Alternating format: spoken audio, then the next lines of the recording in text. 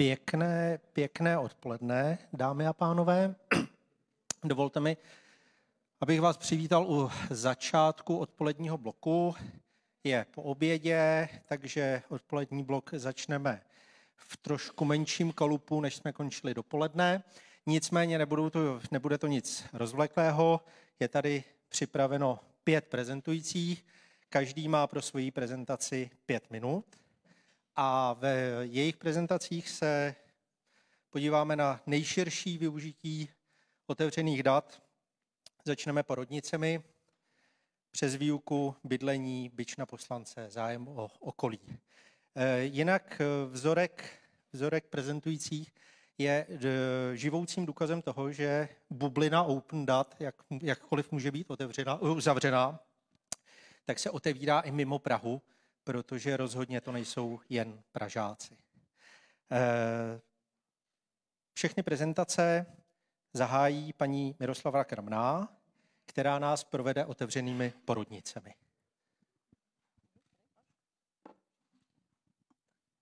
Dobré odpoledne. Já jsem ze společnosti Aperio a mám na starosti průvodce porodnicemi. Je to webový nástroj, který prošel mnoha změnami v loňském roce, jinak samotný průvodce už funguje od roku 2002 takže se blížíme plynuletosti a doufáme tedy, že nás i třeba ministerstvo zdravotnictví začne brát jako plnohodnotné partnery v diskuzi. Je tady dneska pan Tomáš Konečný? Tak on je na stánku. Tak tam to vypadá nadějně, to je zástupce ministerstva zdravotnictví, respektive otevřených dat na ministerstvu. Pardon, pan Kučera. Ano, se omlouvám. tak.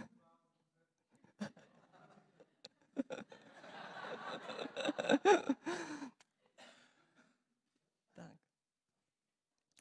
já vám nejprve chci říct něco k Aperiu. My jsme společnost, jsme nezisková organizace, která poskytuje služby rodičům, a to jak rodičům budoucím, například předporodní kurzy pro ně máme, ale i tento nástroj průvodce porodnicemi, tak pracujeme i s rodiči, kteří už jsou eh, stávající rodiče. Máme pro ně poradu, jak právní, tak psychologickou, různé kurzy a zabýváme se a pomáháme i rodičům, eh, kteří zůstanou na výchovu dětí sami, takže máme programy pro solo rodiče. Tak to jenom na zarámování té naší činnosti.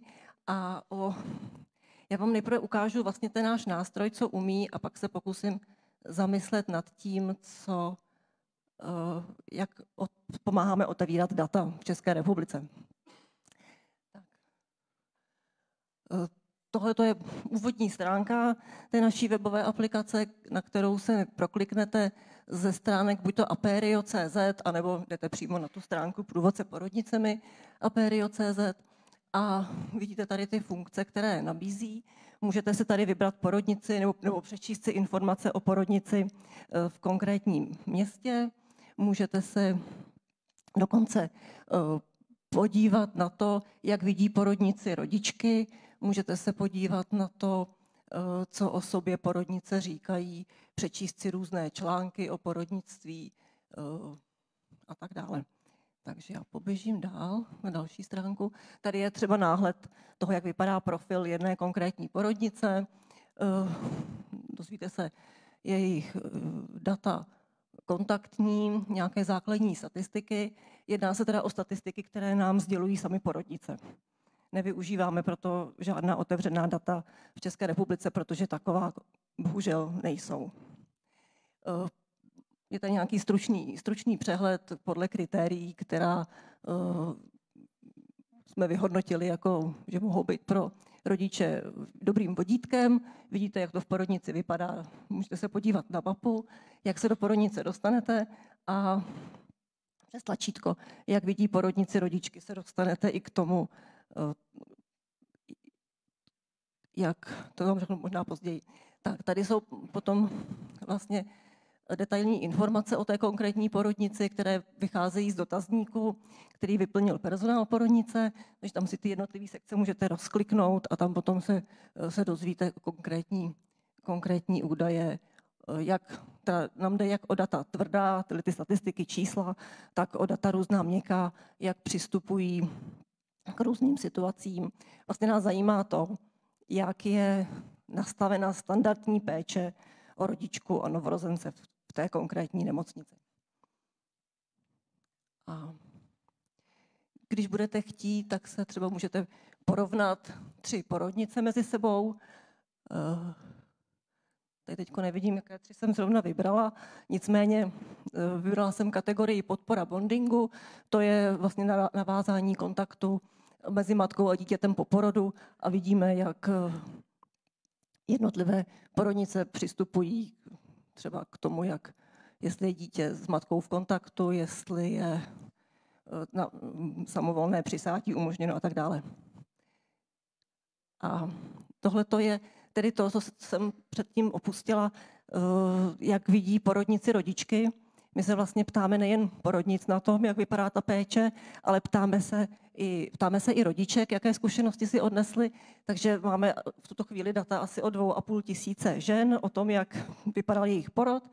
A my potom takhle formou takovýchhle grafů vlastně uh, máme souhrny, jak pro jednotlivé porodnice, jak to vypadalo v jednotlivé porodnici, eh, přičemž tam samozřejmě vidíte, z kolika dotazníků ten souhrn eh, byl vytvořen, tak i můžeme vidět vlastně za nějaké regiony nebo za celou republiku. A tady teda zase vidíte to, že si můžete porovnat ty tři porodnice podle těch jednotlivých kritérií, které vyplnili, vyplnili rodičky. Tak, tady jsem vám ukázala ještě nějaké další údaje, které u konkrétní porodnice, které prostě můžete z toho průvodce vyčíst, konkrétně o statistiky a kojení v porodnici v Krnově. A na tom vlastně chci ukázat to, jak, že takováto data bohužel, byť jsou pro budoucí maminky důležitá.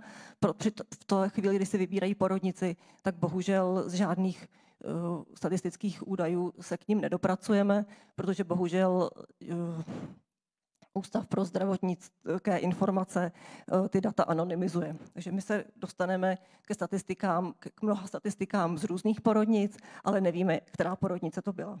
Takže u nás na průvodci porodnicemi se potom můžete dostat k číslům, které se týkají k té konkrétní porodnice a můžete vyhodnotit, jestli to konkrétní kritérium je pro vás důležité, jak s ním naložit, jestli se podle toho můžete rozhodovat.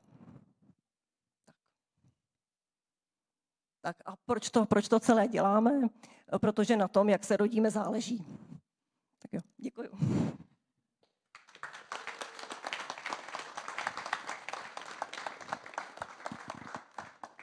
Tak já děkuji paní Kramné a protože na slajdu se zatím neobjevily žádné otázky, které by směřovaly na ní, tak eh, to uděláme tak, že otázky uděláme až na závěr celého tohohle bloku, čímž připomínám, na slajdu je stále otevřený kanál, kde se můžete ptát všech našich přednášejících. A teď už nastává čas pro pana Mirka Černého, který předvede aplikaci Kuloáry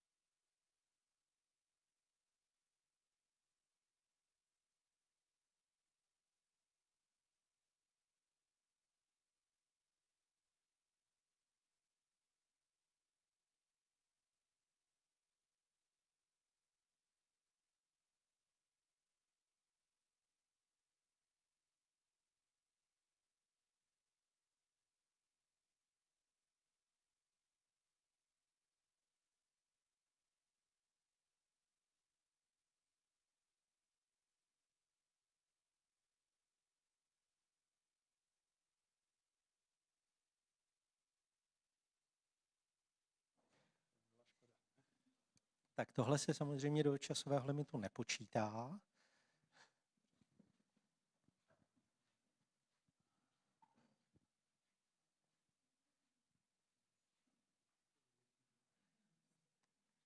Zatím, zatím využiju tuhle pauzu k tomu, že po těchto pěti, pěti eh, stručných prezentacích eh, nastane panel, E, panel se bude týkat toho, jak se otevírají instituce navzájem sami sobě i občanům. A na konec dne je připraveno v amfiteátru e, ultimátní souboj, e, o kterém se časem dozvíte víc, ale v tuto chvíli už je jasné, že bude mezi Prahou a Brnem a že to bude veliké. Tak a právě naběhla prezentace. Babiš, Schwarzenberg a Chovanec. Víte, co má tahle povedená trojka společného? Jsou to, ano, jsou to jediní tři poslanci, eh, kteří nepřišli na víc než půlku hlasování ve sněmovně za poslední volební období.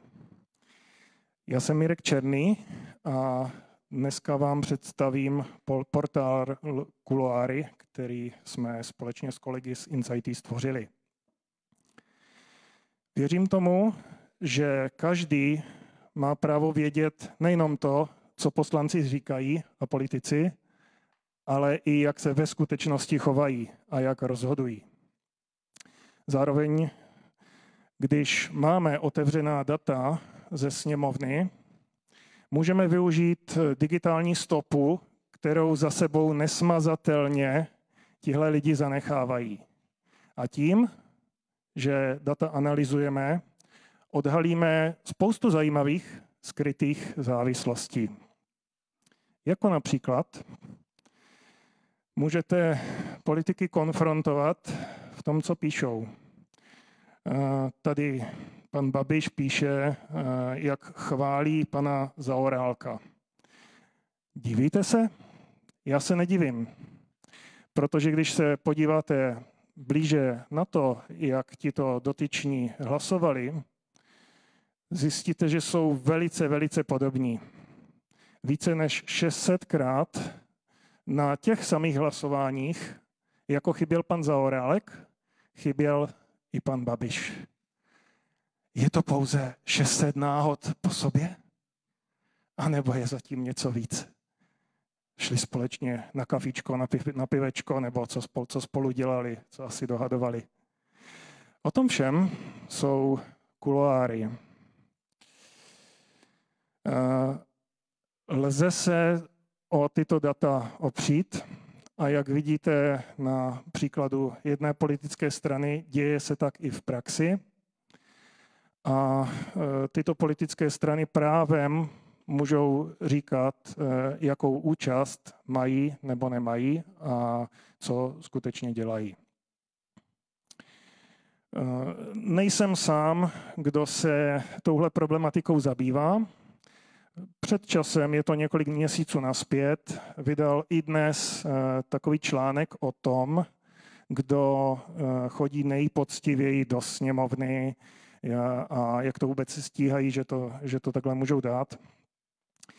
A lidi v komentářích začali zmiňovat kuloáry, protože už určité povědomí bylo. To nemohl přenést přes srdce pan redaktor, který článek stvořil a osočil nás z toho, že šíříme fake news, z toho, že šíříme nepravdivé informace. Postěžoval si, že s tím měl spoustu, spoustu práce. Ano, já tomu věřím, protože vím, kolik je práce se zpracováním dat. Takže e, přišlo to ve chvíli, kdy, mm, eh, kdy byly kuláry krátce po spuštění a diskutující a tento pán nám přihrali asi 10 tisíc návštěv, aby následně diskutující sami data prověřili, spočítali to a zjistili, že jak si u nás nemůžou najít ani jednu chybu. Dovolím si tvrdit, že tímto máme čísla ověřená. S panem redaktorem jsem se zkoušel spojit osobně ale nepovedlo se mi to. Asi puknul vsteky. Je to jenom začátek. My chystáme zlepšení vzhledu kuloárů Možná to bude časem i mobilní aplikace. Rozhodně hodláme z těch dat dělat dynamicky generované zprávy, aby se novinky mohly objevit po každém dni, kdy proběhlo, proběhlo nějaké hlasování. A brousíme si zuby i na další země, stejně jako na Evropský parlament. Takže závěrem snad dodám jenom, že přehled nejsou žádné čáry, když máte k ruce kuloáry.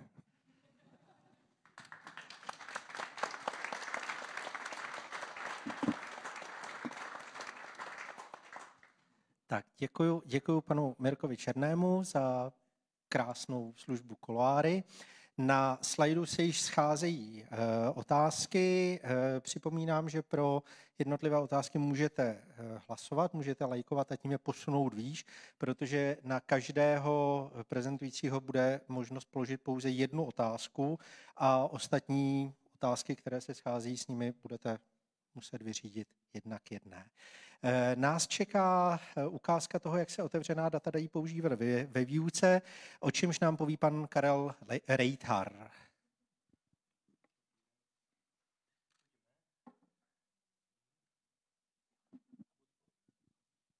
Dobré odpoledne. Tak. Já jsem chodec, jo, takže já budu přitom chodit, zkusím něco posouvat dál a uvidíme. E, takže ještě jednou pěkné odpoledne, mé jméno Karel Rejtar, přijel jsem překvapivě ze zemědělské a potravinářské školy, takže nejsme úplně informatická škola. Jak my s panem ředitelem říkáme, po ránu jsme podojili a přijeli jsme do Prahy vám ukázat, jak otevřít některá ta data. Když jsme u toho dojení, eh, samozřejmě my dneska dojíme roboticky, takže nebojte, že bychom se nějak ušpinili. Takže jak to děláme my? Eh, měl jsem, původně to jmenoval od dojení k otevřeným datům, pak jsem říkal, bude tu takové zajímavé plénum, tak to udělám to bude honosnější.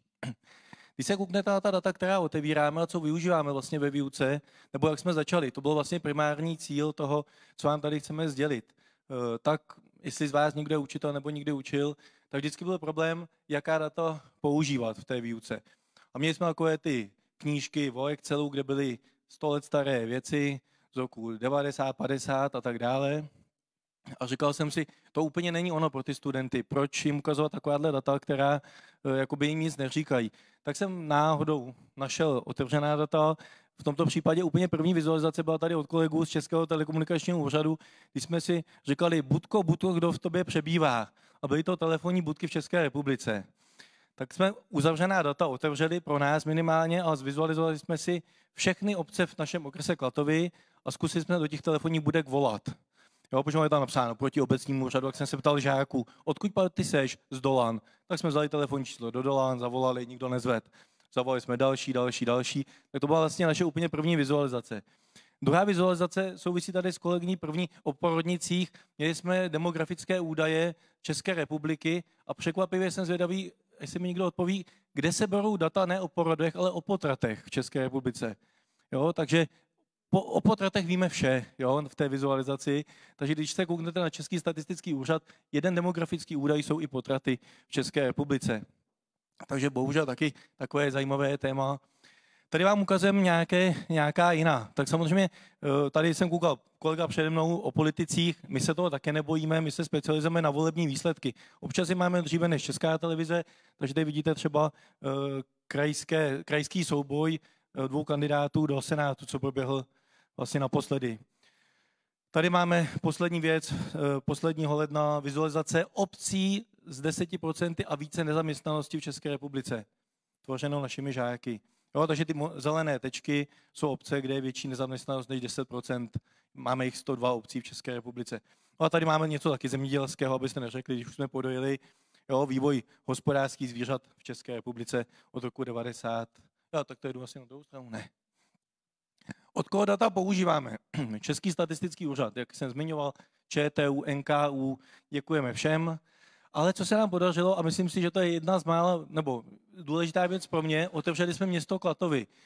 Podařilo se mi jít na ne zastupitelstvo, ale za místo starosty, eh, tajemníky a zeptat se, nešlo by, a ono, a ono šlo naštěstí otevřít ta data. Takže nám dali některé některé čísla, neříkám, že to byly úplně pěkné formáty, nějaký to PDF, nějaký ten Excelíček, ale nic moc pěkného v tom. Takže se nám podařilo otevřít město Klatovy a máme pěknou vizualizaci vlastně města Klatov. Takže to děkuju našim politikům lokálním. Samozřejmě a dneska i běží, jestli jste si toho všimli, někteří už lajkovali, dneska tato aktivita běží na Twitteru a pokud dáte hashtag Open Data Expo, tak tam budete v té statistice a budete mít svoji tečku na mapě. Jo, tak zkuste eh, použít hashtag Open Data Expo na Twitteru a budete mít tečku na mapě České republiky. Pokud nemáte bydliště, samozřejmě někde jinde mimo a budete mít tečku také. No a co říkám dál, jak jsem už předesílal, specializujeme se na volební, eh, na volební data, eh, hlavně teda na naše oblastní zaměření, to znamená na Klatovsko, kde teda od nás vizualizace přejímá televize lokální a na, na sociálních sítích samozřejmě to publikujeme průběžně během toho sčítání volebního. No a jak jsme na tom my, kdo jsme, takže tady vidíte uh, můj první tým, tam se mi to trochu kazilo, to byl čistě dívčí tým, takže takové ty, uh, že jak se říká, holky do toho IT nechtějí, tu techniku nechtějí, tak vidíte, já tam měl čtyři baby a já, Jo, to je úplně ta levofotka, nebo z jakého pohledu na to koukáte. Pak jsme se teda dobře prostřídali, dvě holky zůstaly, dvě odpadly a přišli tři kluci, takže tam už je to takový smíšené. No a s tou poslední vizualizací jsme vlastně vyhráli právě u pořadatelů tady Open Society fondu eh, první místo eh, v roce 2017 se studentskou aplikací právě netradiční volební vizualizace, kde jsme zvolili, vlastně tam bylo asi 10 slajdů, takže tím jsme vyhráli první místo této soutěži. No aby toho nebylo málo, letos, nebo vlastně to bylo už loni, děkujeme NKU a ČTU, se nám zadařila pro mě zatím největší úspěch, že jsme se vlastně obsadili třetí místo v hekatonu veřejné zprávy, na který už jste byli také pozváni eh, letos, že bude v září, kolem toho 13. září, takže tam se nám podařilo obsadit, dá se říct, skutečně profesionálních týmů eh, v silné konkurence třetí místo s aplikací Poznej svoji obec, město, kraj. Dopoledne jste tady slyšeli takovou tu, eh, takovou tu informaci, že třeba v Americe, když se chcete přestěhovat, jak tam máte o té obci všechny informace v té naší aplikaci víceméně neříkám, že máte kriminalitu a podobně, ale je tam hodně těch informací podobných taky. A už jsme na konci, na konci otázky přijdou. Děkuji za pozornost.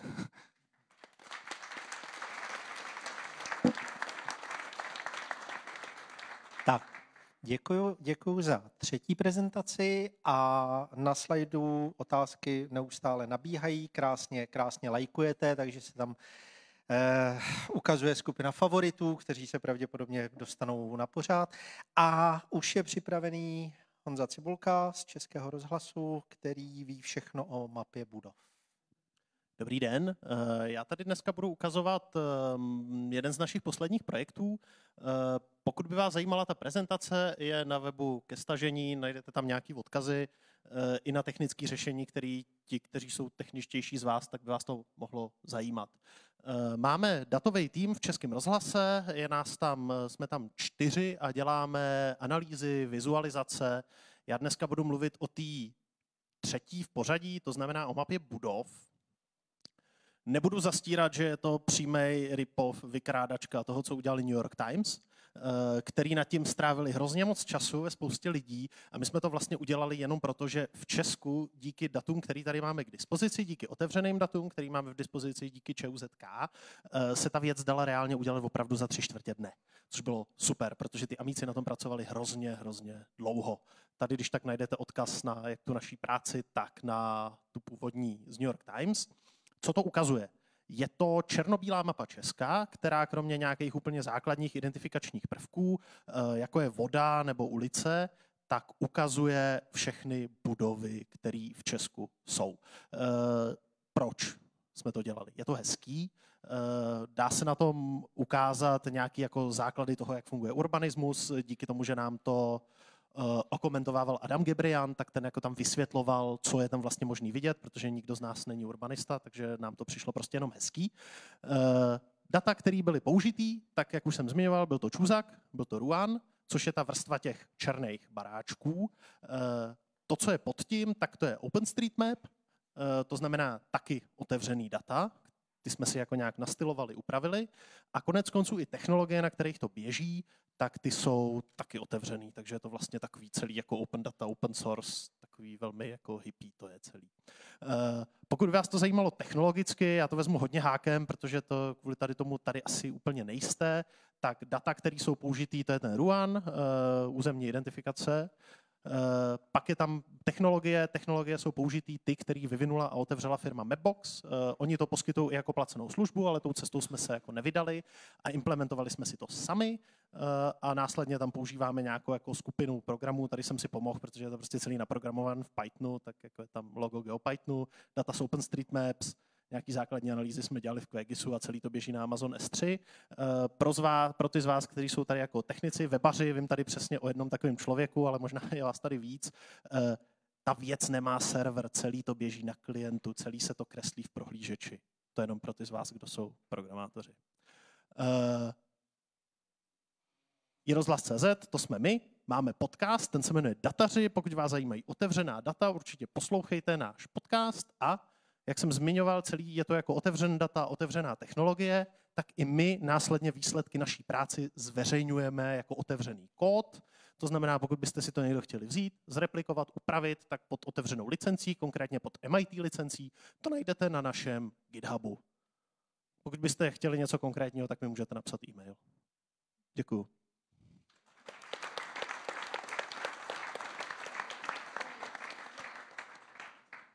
Děkuji za eh, stručný a úderný příspěvek, který nezapřel rozhlasáka. A pomalu už se připravuje paní Ida Chuchlíková, eh, která nám ukáže, co se chystá. Takže vlastně vidí do budoucnosti díky otevřeným datům. Eh, já se tady ještě podívám, zkusím ten laser. Jo. Tak dobrý den, já jsem Ida Chuchlíková. Zdravím všechny do Jablonce, jestli se koukají. Náš tým je opravdu malý jsme vlastně eh, jsme parta nadšenců pro veřejný prostor, který, který vlastně iniciovali vznik této aplikace z důvodu, že jsme taky architekti. Eh, jsme architekti, kteří by chtěli, aby veřejné zprávy prezentovaly svoje záměry už od samotného počátku. A když jsme přemýšleli o tom, jak vlastně zkvalitnit veřejný prostor, tak jsme si postupně dopracovali k tomu, že je to nějaký komplexní, vlastně komplexní děj, který musíme prostě pomalu opravovat celý. A um, tak, aby vlastně projekty nesledovaly jenom, jenom ti vyvolení při samém začátku, ti, co teda zadávají projekty, ale, ale i veřejnost. Eh, častokrát se, se stává, že ta veřejnost je vlastně přizvaná k těm záměrům, který nějakým způsobem ovlivňují veřejnou prost, veřejný prostor až ve chvíli, kdy už ten záměr v podstatě je skoro hotový a veřejnost si k tomu jakoby řekne jakoby něco, co v podstatě už není v tu chvíli možný zapracovat do, do toho návrhu samotného. A my jsme si říkali, že teda se pokusíme to změnit. Dalším důvodem bylo, že eh, když se podíváte na způsob zadávání projektů, eh, ať už jde o architektonické návrhy nebo i o opravy silnic, tak je velice těžký se dopátrat vlastně k těm samotným jako zadáním. To zadání je nesmírně důležitý, protože ovlivňuje to, eh, jakým způsobem ty věci budou kvalitní a jestli budou neustále vznikat znovu a znovu, nebo jestli jsou nějakým způsobem použitelný opakovaně. Eh, samozřejmě to ovlivňuje i to, že kvalitní věci nejsou vždycky levné. A myslím si, že eh, častokrát se stává to, že když eh, se podíváte na kvalitně zpracovaný, ve, eh, zpracovaný veřejný prostor nebo architekturu nebo jako budovu, která vám přijde dobrá, tak když veřejnosti sdělíte tu cenu, tak je většinou překvapená. A my bychom byli rádi, kdyby vlastně už od začátku jsme otvírali data o všem, co nejvíc, aby jsme postupně naučili vnímat to, že některé věci stojí za to ocenit tak eh, a vlastně ještě v neposlední řadě eh, je to taky důvod v tom, nebo další důvod je v tom, že eh, se častokrát setkáváme s projekty, který zpracuje nějaká politická garnitura, která ve chvíli, kdy se na radnici vystřídá, tak ty projekty se dají do šuplíku a už se nikdy nevytáhnou. Tím pádem se vlastně investuje znovu do aktualizace třeba věcí, které by, kdyby překlenuly ty volební období, tak by, tak by mohly se zrealizovat a a vlastně ne znovu do nich eh, investovat další veřejné peníze. Um, my jsme začali spolupracovat s Měchovým hradištěm, který pro nás byl takový pilotní město. Uh, důvodem bylo, protože Měchovo, nebo důvodem, důvodem téhle spolupráce bylo, že Měchovo hradiště chtělo svoje, eh, svoje weby prezentovat na, ne, ne, ne, svoje, projek, svoje projekty pardon, prezentovat na webu už od samotného počátku. A pro nás bylo důležité, aby vlastně se to, co je v textu, tak zobrazilo vlastně nějakým způsobem do mapy a člověk, pokud ho to více zajímá, tak eh, se dostal velice jednoduše k nějakým blížším informacím. Eh, tady vidíte náš prototyp, kde je teď momentálně představeno 10 projektů v různých fázích vlastně jako zpracování. Můžete se tam zaregistrovat, teďka pracujeme na vlastně tom, tý jako administrativní části. Ten způsob, jak se můžete v těch projektech zorientovat, je, eh, je dělený na podle toho, jestli to je teda jakoby záměr, jestli to je v samotném začátku, jestli se vybírá zpracovatel nebo projekt nebo dodavatel, a nebo eh, v jaký časové fázi, respektive jakoby kdy, kdy se ty projekty staly. Eh, teď vám představím komunitní centrum Mírová. Je to v základní kartě vlastně vidíte přehled nějakých jako základních informací o tom, jakým způsobem byl vybrán zpracovatel projektové dokumentace, eh, kdo, kdo tu budovu nebo kdo tu stavbu dodává. A tyhle ty informace taháme z registru smluv při vlastně nějaký komunikaci s tím, s tím pilotním městem. Pro nás je vlastně stěž, jako nebo podstatnou část tohohle projektu osobně vidíme v harmonogramu, kdy vlastně když když městská zpráva prezentuje uh, projekty týkající se, týkající se veřejného prostoru, tak většinou je to až po výběru zpracovatele, anebo až teda při té realizaci. A my jsme vlastně uh, chtěli, aby tady v této aplikaci byly vidět všechny kroky, který vlastně, kterýma ten, ten projekt od začátku projde. Takže tady vidíte prostě formulace společného zadání, uh, výběr variant. Je to spojený i s, i s tím, že tyhle ty data hledáme v v zápisech rady města, v zastupitelstvu a vždycky si vlastně můžete z toho města stáhnout. Eh, když takhle projdu, tak jenom vlastně jako rychle, který informace tam můžete najít. A eh, tohle je projekt, který je ve fázi teda zahájení stavby, kde eh, když byste chtěli si stáhnout fotku, tak je pak možný si tam stáhnout.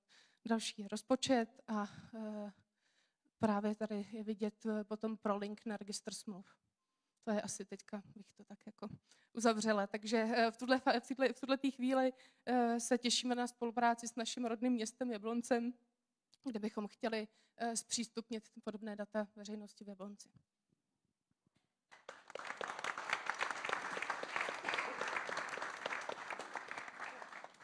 Já děkuji všem pěti, pěti přednášejícím, prezentujícím a na slajdu se objevila celkem jednoznačně vedoucí otázka, která vede na kuloáry, má osm lajků a z ní existuje digitální stopa exekutorů, soukromých podnikatelů a insolvenčních správců v kontextu s digitální stopou poslanců a senátorů?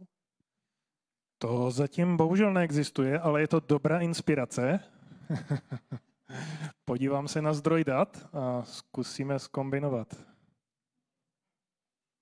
Eh, Tahle otázka byla od anonymního autora, nicméně její autor samozřejmě může, může kontaktovat a Určitě je, kdykoliv. Je možný pokračovat. Tak, další otázka je od čerstvého otce, což je naprosto jednoznačné určení člověka v téhle místnosti. A e, ano, mikrofon už doputoval tam, kam má. A dotaz zní, co můžu osobně jako občan udělat pro to, abych podpořil zveřejňování informací o porodnicích v neanonymizované podobě. Jinak děkuji za skvělou službu. Jo, tak to jsem ráda. Tak můžete udělat to, že vyplníte dotazník na, naší, na našem webu, který se jmenuje Ohodnoťte vaši porodnici. Můžete napsat na ministerstvo zdravotnictví panu Kučerovi, který se zabývá otevřenými daty můžete napsat svoji uh, ne, vedení své nemocnice, aby data o sobě zveřejňovala, protože můžu říct, že mnohé porodnice výsledky své péče zveřejňují. Bohužel ne ty, které odrodí nejvíc rodiček.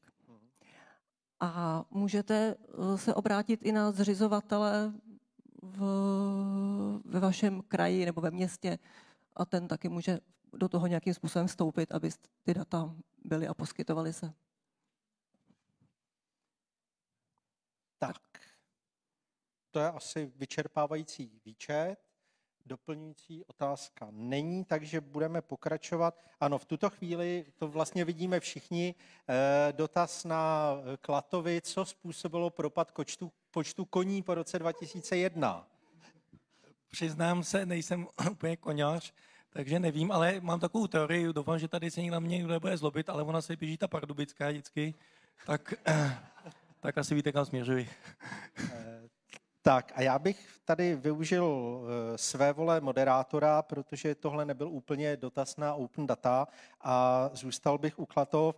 Eh, dotaz od pana Jiřího Marka. Plánujete udělat i nějaký o, o asi to bylo OEM kurz na datovou vizualaci pro české střední školy? Děkuji. Děláme kurzy, zrovna toto sobotu je konference, která se jmenuje Edu Staňkov, takže u nás na západě edustaňkov.cz, kde vlastně mám hodinový webinář, nebo on je to workshop tedy, pro vlastně učitele základních a středních škol, kde se budou seznamovat právě s otevřenými daty a vizualizacemi, jak to tvořit. Takže na tomto třeba hodinovém workshopu nebo Power BI Day bude v Praze na Microsoftu během dubna. Takže letní školy moderních učitelů během 14 dnů na v v Kopanicích, tak tam taky děláme workshopy pro učitele. Takže jako pokud chtějí, tak se k té informaci dostat mohou, ale je to na vůli samozřejmě těch učitelů. Díky. Máme tady dotaz na Eh, Honzo Cibulku, jste zaměstnanci rozhlasu nebo dodáváte jako externí firma? Nebojíte se o práci po tom, co se tam teď děje? Nejsou tlaky? Eh, jsme externisti, jmenujeme se Samizdat. Eh, pokud by vás zajímaly detaily, tak už jsme v registru smluv, takže tam si můžete tu smlouvu najít. Co se týče nějakých tlaků, v podstatě na každý projekt, na kterém já jsem dělal v nějaké poslední době, tak přišla stížnost od těch dotčených politiků nebo firem. Nicméně si myslím, že jsme jako velmi pevný v kramflecích, že vedení nad námi i vedení našeho vedení je v tomhle jako dost jednoznačný, žádný tlaky ani jako nevnímáme nic takového. Takže rozhlas za svými dataři stojí. Ano. Tak a co se týče paní Chuchlíkové, tak tam máme dotaz, zda plánujete rozšířit své aktivity i mimo Jablonec. Eh, no tak cílem je samozřejmě, aby se zapojilo co nejvíc měst. Tady vyzývám města, které by to zajímalo. My samozřejmě jsme malý združení, takže nám to chvilku trvá, tak eh, vyčkejte. Ale cílem je nabídnout tady tu aplikaci přes otevřená města vlastně městům, který by o to měli zájem. A propojit to s finanční, já jsem tam četla s finančníma datama přes registr smluv. Takže moc krát díky všem zúčastněným, nejenom pěti, pěti panelistům, ale i všem, kdo kladli otázky. Eh, všichni jsou k dispozici pro další doplňující dotazy, na které už se nedostala řada, i na ty, které vás teprve napadnou. No a my budeme pokračovat dál eh, panelovou diskuzí na téma, jak se otevírají eh, jednotlivé instituce občanům i sobě navzájem.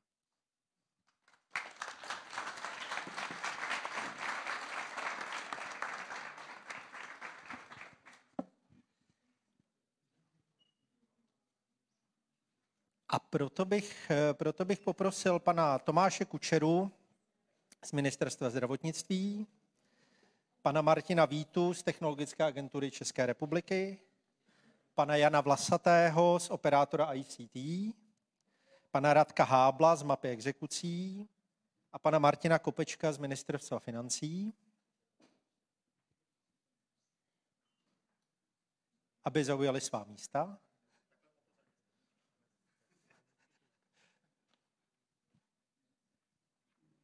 Tomhle pořadí by měly jet prezentace, takže...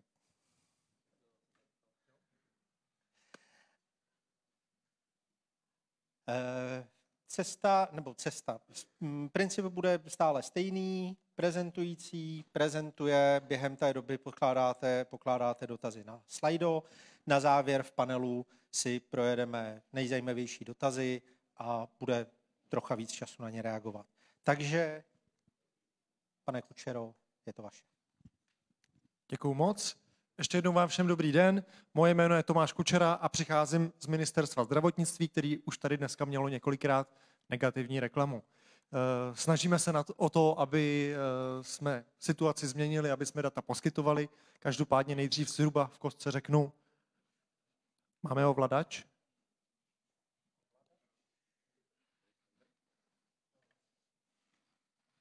A kam mířím? Tak, Mířím dobře. Eh, co vlastně je ministerstvo zdravotnictví zač? Eh, združujeme 70 organizací, které jsou vlastně námi zřízeny. Eh, nejčast, nebo největším, největší zastoupení mají zejména ty velké nemocnice, jako fakultky, IKEM a tak dál. Dále to jsou krajské hygienické stanice a plus nějaké další léčebny a další organizace. V rezortu máme zhruba takový tři nejzajímavější, eh, největší organizace, které mají hodně dát, přičemž eh, jeden z nich je SUKL, Státní ústav pro kontrolu léčiv, ty se specializují na eh, léčiva, jak už z názvu napovídá. Oni provozují e-recept, se kterým jste se možná mnozí z vás už potkali. Co se týče Open Dat, tak už v současnosti publikují je to databáze léčivých přípravků, příbalových informací, seznam lékáren. Tohle to určitě ocení ti, kteří provozují například e-shopy pro lékárny. Pak tu máme Ústav zdravotnických informací a statistiky. V současné době poskytují Národní registr poskytovatelů zdravotních služeb, to znamená, když tak řeknu, seznam nemocnicí a lékařů. Plus, a to je určitě zajímavý a o tom se ještě moc neví, je portál regionálního spravodajství, report, reporting.uz.cz, který eh, vyskytuje, který vlastně koncentruje informace o počtech eh, nemocných, počtech daných diagnóz eh, v rámci České republiky na úroveň krajů. Podotknu, že tam nenaleznete data ke konkrétním poskytovatelům, která by vás zajímala. Pak tu máme za ministerstvo. Ministerstvo my jsme zatím otloukánek, moc toho nemáme. Každopádně zmínil bych něco, co je, v čem jsme možná jakoby první eh, v republice, aspoň nevím o nějakým dalším příkladu, máme portál poradních orgánů ppo.mzcr.cz, přičemž eh, tam za ministerstvo vkládáme, eh, které poradní orgány, respektive pracovní skupiny u nás působí. Pokud je to možné, tak zveřejňujeme seznam členů, se zveřejňujeme zápisy z pracovních skupin, takže pokud vás nějaké téma zajímá a řeší se na ministerstvu v pracovních skupinách, máte možnost si o něm přečíst víc. Tak, co se chystá? Tím, že máme 70 organizací a já vím, že faktury už byly cool před dvouma nebo kolika rokama, takže jako nebudu úplně švihák, ale chceme za všechny naše organizace zveřejňovat faktury, které proplácíme, a to i za ty velké fakultní nemocnice. Každopádně nebudou tam ceny za konkrétní léky, to se nedovolíme, ale prostě za provoz a jakoby celkový faktury, ne do položky, ale konkrétní faktury za všechno, co ty vlastně nemocnice a organizace nakoupí, tak ty bychom chtěli zveřejňovat. Počty výkonů na poskytovatele, pracujeme na tom. V současné době nám trošku svazuje ruce legislativa, která nám neumožňuje zveřejňovat eh, data z registrů, aby jsme mohli říct, že tenhle dělá tolik a tolik výkonů, tenhle to dělá takhle dobře a tak dál. To znamená, je potřeba zapracovat na legislativě. Každopádně ve spolupráci s kanceláří zdravotních pojišťoven, což je servisní organizace zdravotních pojišťoven, už pracujeme na tom, aby tato data byla zveřejňována, oni je už zveřejňují. Jsou tam i ty porody, které tak zajímají, akorát o tom ještě jakoby nikdo moc neví. Ale můžu vás ubezpečit, pracujeme na tom, eh, chystá se novelizace zákona eh, pro Feinschmeckery 372 2011 na tento rok a já se budu hodně snažit, udělám pro to opravdu maximum, aby jsme otevřeli ta data zdravotních pojišťoven do té míry, do které to jde, to znamená, aby jsme neporušovali třeba eh, právo na ochranu osobních údajů. Nicméně věřím si, že by tam šlo zveřejňovat prostě výkony, finanční aspekt situace, to znamená, kolik která jedna nemocnice eh, za daný výkony vydělá. Co nás jako ministerstvo trošku trápí, tak je zejména převod dát do formátu otevřených dat. Člověk je tvor línej, já jsem toho příkladem, nechce se mi to zpracovávat ručně, eh, to asi nikomu. To znamená, to, to bychom určitě ocenili, kdyby existoval nástroj na převod dat. Vím, že eh, kolegové z Apitalks už na tom pracují. Kdyby chtěl někdo další, můžete se do toho zapojit jako do nějakého jiného projektu svého třeba.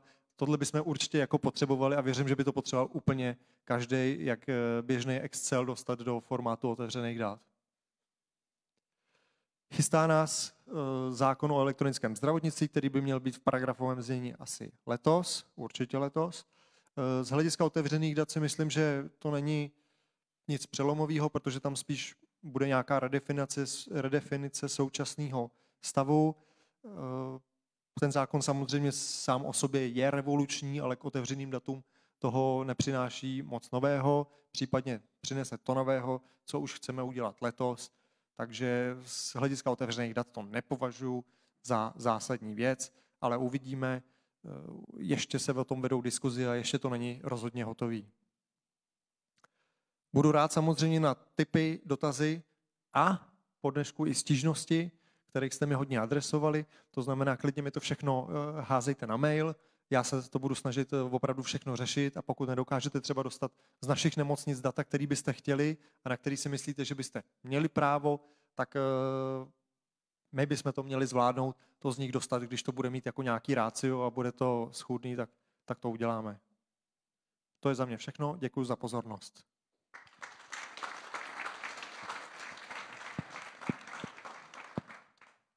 Takže díky, díky za prezentaci, která dává naději a uvidíme, nakolik eh, se ta naděje vyplní, protože vyvolat naději a pak ji nesplnit, to je jeden ze smrtelných hříchů. A eh, další na řadě je pan eh, Martin Vítá z Technologické agentury České republiky. Výzkum užitečný pro společnost. Dámy a pánové, já vám přeji krásné odpoledne. Eh, děkuji za uvedení a já bych v úvodu naší agenturu představil, protože přece jenom eh, technologická agentura není tak eh, známá jako instituce typu Ministerstvo zdravotnictví nebo Ministerstvo financí. Technologická agentura je organizační složkou státu a je správkyní nebo správcem rozpočtové kapitoly a jejím primárním cílem je podpora aplikovaného výzkumu.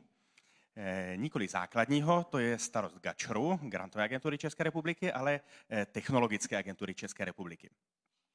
Naše agentura připravuje a spravuje eh, programy státní podpory. Možná jste slyšeli, pokud se o tuto oblast zajímáte, řecká písmenka jako alfa, beta až po zetu. Zeta je konkrétně program, který je určen pro mladé výzkumníky nebo určen mladým výzkumníkům. No a Tyhle ty pod, eh, programy podpory jsou obecně určeny eh, k tomu, aby se mm, eh, podporovalo propojení výzkumných organizací, aplikovaného výzkumu a firem a dalších institucí. Já si tady dovolím ještě jednu drobnou odbočku. Technologická agentura během svého desetiletého působení, protože vznikla v roce 2009 a letos bude tedy slavit desáté narozeniny. Eh, za dobu své existence poskytovala podporu i několika projektům, eh, jejichž obsahem byla otevřená data eh, publikace statistických ročenek ve formátu otevřených dat a další a další. Zatímco ministerstva mají poměrně obsáhlou agent, nebo mají řadu agent, tak ten, eh, řekněme, core business Toucheru je poměrně jednoduchý. Je to zkrátka poskytovat eh, podporu, podporu finanční. Jak jsem tady říkal už v té dopolední upoutávce, tak v genové informaci Toucheru jsou dva hlavní principy. Jednak je to transparentnost a jednak je to vlastně zájem provádět evidence-based policy, čili politiku eh, opřenou o data a fakta. Nikoli to, čemu říkám eh, trochu ironicky feeling-based policy, která se tady dost často v České republice provádí. Což eh, z tohohle toho samozřejmě se tady přirozeně objevuje ta poptávka po datech a využití zejména těch otevřených dat. Jak vypadá ten současný stav? Tak eh, technologická agentura o tom core businessu, čili o těch podpořených a nepodpořených projektech, eh, zveřejňuje data eh, v tom jednohvězdičkovém formátu, co se týká té technologické stránky, teď řekněme upřesněme. Čili zatím to není v souladu s, mm, se zákonem ve smyslu otevřených dat. Nicméně to publikování otevřených dat připravujeme, už je to kdybych mluvil o systému, tak bych řekl, že je to na spadnutí, ale eh, je to eh, záležitost rozšířování funkcionality našeho informačního systému, který slouží k mimo jiné přijímání přihlášek a tak dále. Protože publikování otevřených dat ve smyslu zákona eh, je opřeno o tři podmínky. Eh, jednak eh, o mm, podmínky užití, které mají být k dispozici, týká se to ještě katalogizace dat, tak tyhle ty dva body už jsou připraveny. To, co probíhá v tuto chvíli, tak je příprava generování těch reportů, těch CSVčkových datových sad, které řešíme akorát s dodavatelem. Pevně věřím, že až bude probíhat hackathon, Eh, veřejné zprávy v září, tak vše už bude připravené. tak můžeme se i vsadit, já si, já si myslím, že, eh, že se to podaří. Čili eh, v technologické agentuře eh, padlo rozhodnutí o otevírání dat a to eh, rozhodnutí se promítnulo do řady dokumentů i třeba do přípravy nějakých interních projektů, které se chystají. Vytipovali jsme první datové sady, celkem přirozeně to budou sady s projekty a příjemci, čili budou k dispozici informace o stavu jednotlivých projektů napříč těmi veřejnými soutěžemi a programy a to budou data, která budou exportována přímo z toho eh, našeho informačního systému. Eh, v té první vlně půjde o ta tříhvězdičková data eh, vlastně v CSVčku.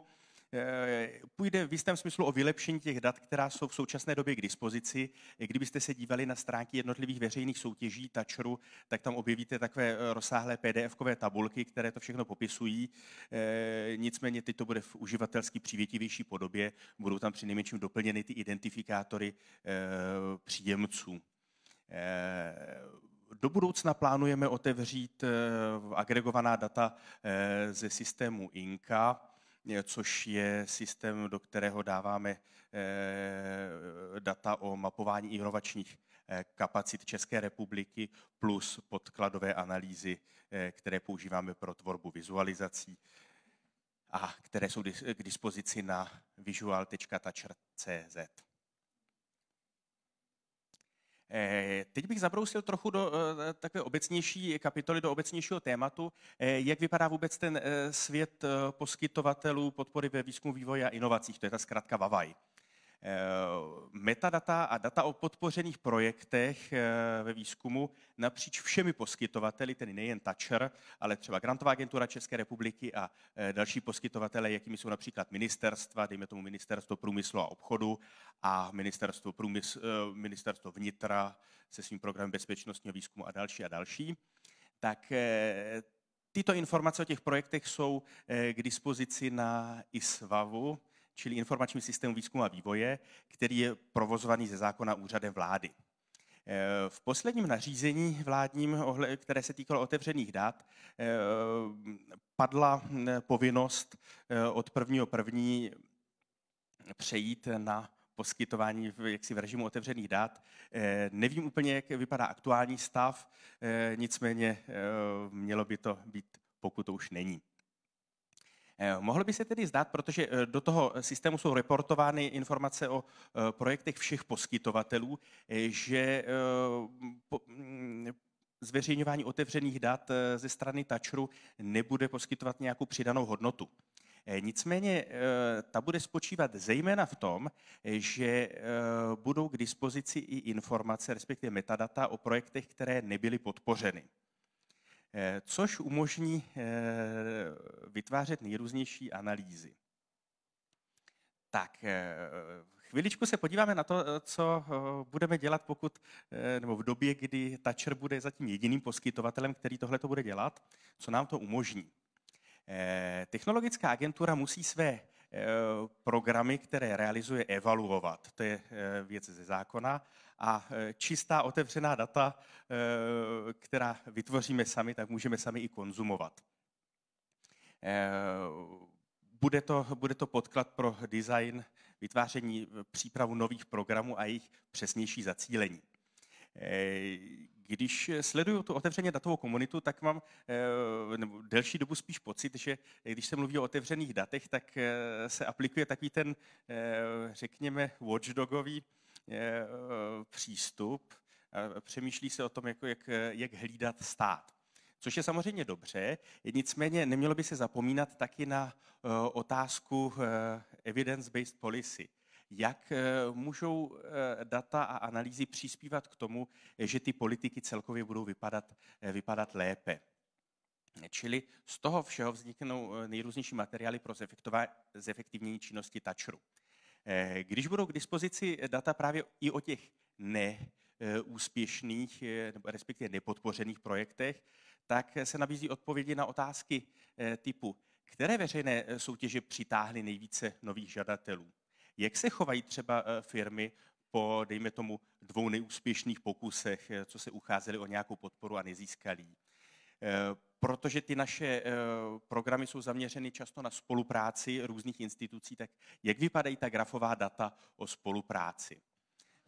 Mimochodem, pokud najde, dáte v prohlížeči www.starforce.cz, tak se podíváte do našeho vyhledávače v mm, projektech výzkumu a vývoje.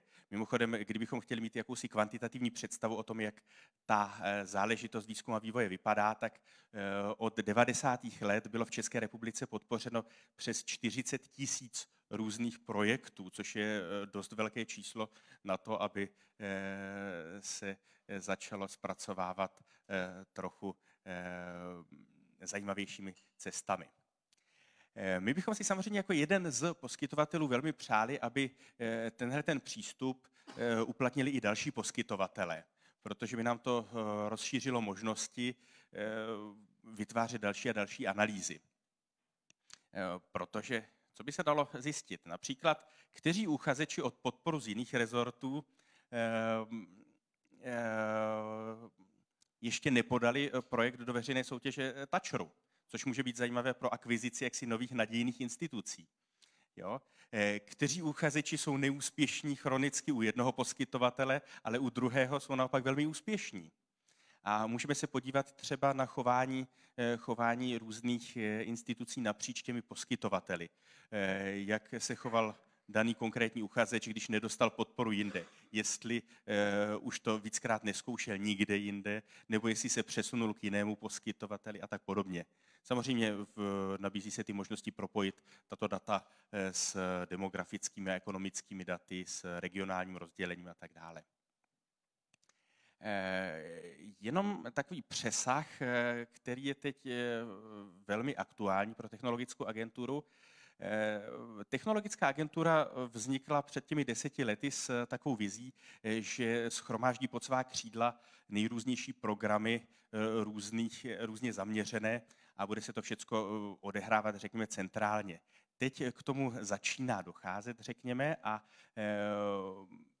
začínáme mluvit o takovém jakémsi konceptu veřejné soutěže as a service, že budeme ostatním poskytovatelům eh, poskytovat na klíč eh, realizaci veřejné soutěže, protože eh, některé, některé věci jsou v podstatě shodné pro všechny veřejné soutěže ve výzkumu, vývoji a inovacích. Nabízíme k využití náš informační systém pro další rezorty, a díky tomu, že bude připravený na otevírání dat, tak tím vlastně nějakým způsobem napomůžeme tomu, aby i ostatní rezorty toto dělali, ostatní poskytovatelé podpory což je plně v souladu s eh, informační koncepcí České republiky. Když byste se na ní podívali, je to konkrétně bod 5.6, čili technologická agentura chce jít příkladem ostatním poskytovatelům. Tak to bylo vše. Já vám děkuji za pozornost a těším se na náměty, připomínky a e, budu nesmírně rád, když na hekatonu využijete v září naše data.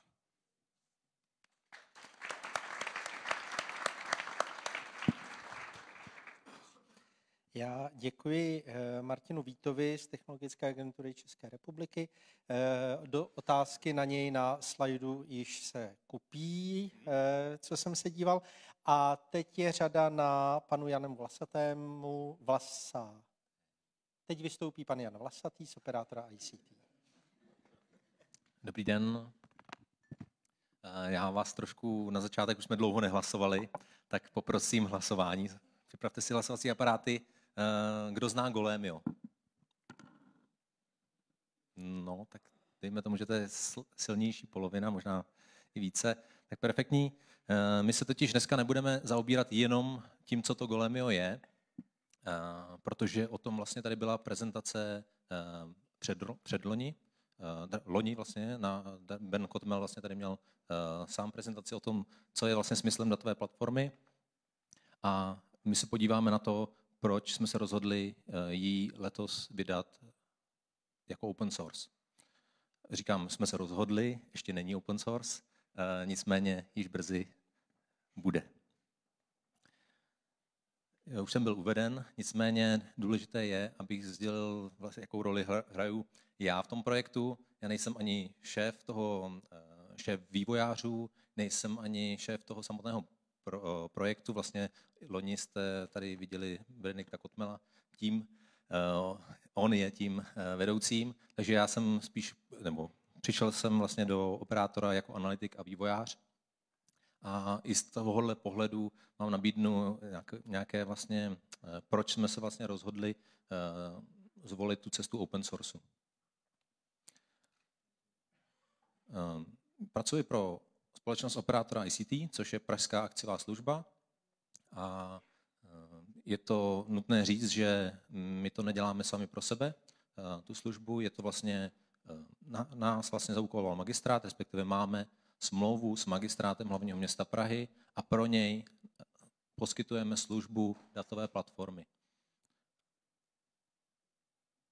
A ta je vlastně definovaná jako systém, IT systém, který má integrovat data z městských systémů, má je ukládat, má je nějakým způsobem zpracovávat a dále vizualizovat a poskytovat nějaké know-how nad těmi daty, které to město vlastně má a dneska leží rozdrobeny v různých malých systémech, ať už jednotlivých společností nebo městských částí. Eh, ještě bych se eh, malinko zastavil nad tím, vlastně, kdo tu datovou platformu vymyslel. Eh, dneska o tom tady byla řeč, kdo vlastně je ten původce toho nápadu. Někdo říká, že to vlastně, dneska jsme slyšeli, že to možná byl Deloitte, možná jsme slyšeli dříve z prohlášení, že to byla bývalá paní primátorka Adriana Krnáčová. Dneska si čtu posty pana Hřiba, že možná vlastně on vnuknul nám tu eh, myšlenku nebo tomu týmu nebo operátorovi ICT magistrátu. Takže samozřejmě eh, já chci hlavně říct, já nevím, kdo to vymyslel, já jsem to nebyl.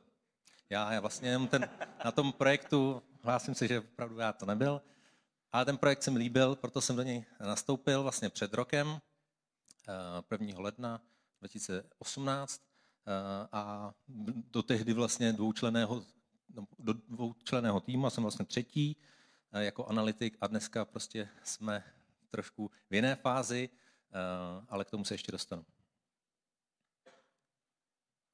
A ta hlavní otázka, kterou se, ke které se jako budu snažit nějakým způsobem dostat a odpovědět, je to, proč vlastně jsme zvolili open source.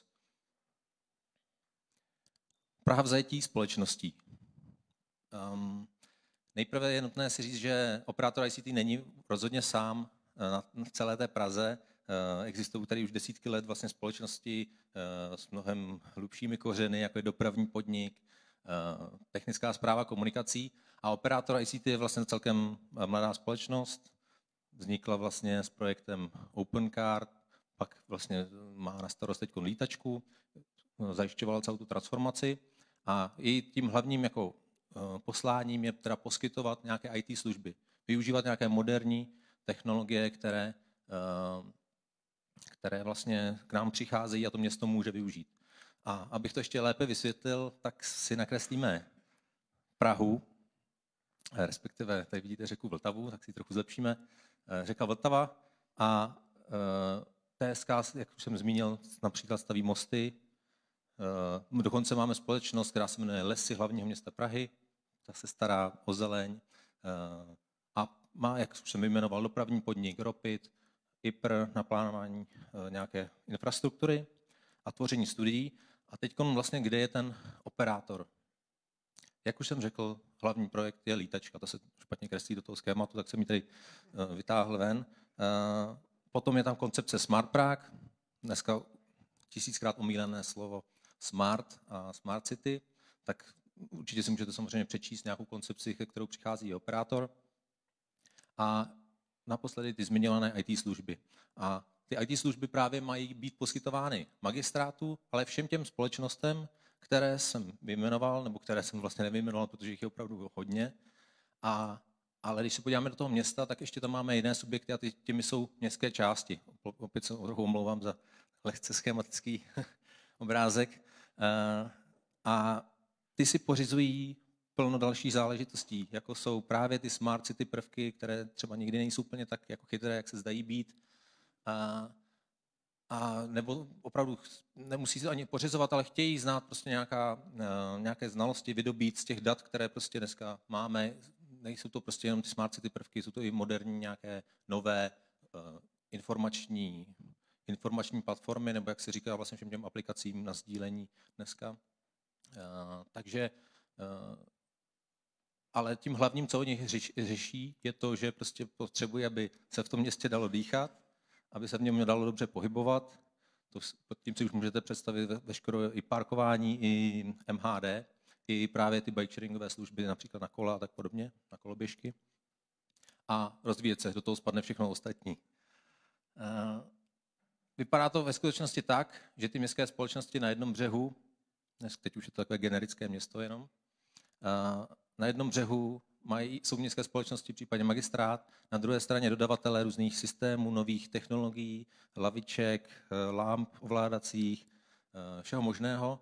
A oni prostě jsou vlastně v tom takovém tom obchodě, kdy samozřejmě něco by rádi, eh, ty městské části, ale neví co, něco jim dodavatel dodá, vzniká mnoho jednoučelných aplikací, mnoho integračních můstků mezi jejich systémy a systémy těch dodavatelů, snaží se z toho potom teda vydobít nějakou znalost, takže si pořizují nějaké vizualizační nástroje. A, ale jako výsledkem je to, že prostě uh, zde neexistuje nic, co by to vlastně nabídlo, ten, vlastně ten pomyslný most mezi těmi uh, dodavateli podobných technologií a x městských částí. A to je to, co si podle nás a podle vlastně zadání té smlouvy, tak co té Praze chybí a kde prostě my vidíme tu naší uh, největší přidanou hodnotu. Tedy teď budu mluvit spíš o tom zaměření, co ta datová platforma teda má umět. Je to teda převně, uh, především, že se zaměřujeme na ta senzorická data, tedy v oblasti sledování ovzduší, sledování dopravy, sledování uh, nějakých dalších jevů, ať už je to pohyb lidí třeba, nebo počítání uh, lidí pomocí nějakých uh, detektorů, ať už je to nebo no, přes uh, pohyb přes mobily, mobilní operátoři. Všechno to bereme v nějakém jako balíku senzorických dat. K tomu, protože to samozřejmě co, jakákoliv technologie má prostě svého dodavatele, své zvolené technologie, své produkty, svoje rozhraní, pro předávání dat. Takže my, co v té datové platformě primárně nabízíme integrace a zpracování dat. Nad těmi daty potom jsme schopni teprve, pokud ty data máme, nabízet nějaké vizualizace a to know-how, které z těch dat lze vydobít. Protože jsme tady v Open Data Expo eh, a já jsem sám přišel z týmu, eh, kde jsme vlastně řešili eh, Open Data na ministerstvu financí, tak rozhodně jsme zakotvili jako jednu z těch Eh, primární funkcí nebo eh, funkcí, co určitě tam patří, je právě poskytování Open Dat a Open API. Je důležité říct, že to, možná pomyslně to tady takhle naznačeno, je to na čtvrtém místě. My jsme, my jsme neznikli jako Open Datový další portál, který má chrlit Open Data. My jsme vznikli jako IT služba městským částem primárně, ale myslíme na to, že ta Open Data mohou prospět dál, aby se ta data využíval dál. A proč tady furt zmiňuji ty městské části?